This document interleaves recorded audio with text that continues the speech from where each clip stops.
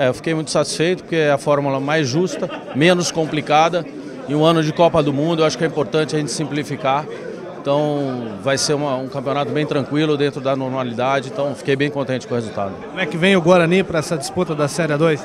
É, nós já viemos aí de uma Série C que batemos a porta, não conseguimos acesso, mas quase chegamos lá. Então estamos estruturados para chegar forte, porque o Guarani tem que estar na Série 1.